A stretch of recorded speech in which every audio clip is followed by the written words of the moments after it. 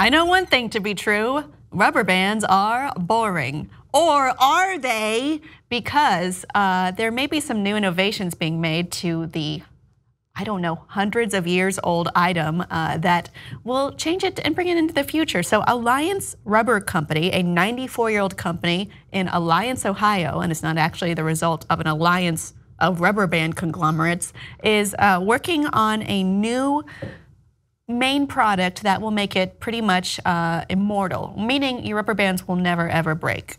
Huh? That's pretty interesting, right? But it will get even better because the thing that is making the rubber bands um, never able to break is graphene. Graphene is something that you may remember was famously called um, by Columbia University engineer James Hone. He said that an elephant standing on a pencil would be what it takes to pierce through a piece of graphene that's only as thick as a piece of saran wrap. So it's an incredibly strong material.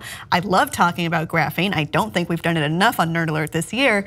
So with this material, not only would it be incredibly strong, basically unbreakable, but there are many applications that can be inserted with this. For one, uh, you could insert RFID easily into graphene, and with that, you could track things, and you would be able to even insert. Uh, capabilities that would make it color change under certain temperatures. So if we're talking about produce, we would be able to see, or grocery stores be able to see if uh, let's say they ordered a bunch of celery and the celery got up to 95 degrees Fahrenheit, the rubber bands would have changed color, they could reject that. Or you can go to the store and find maybe a bundle of carrots that are past their prime because of the color of the, uh, the graphene rubber band on it. Also with graphene is the ability to not be static charged at all, which is very important for electronics manufacturers and could, you, you never want static uh, charge, discharge uh, on your electronics. That's if you can minimize that even a little, that would make this extremely desirable.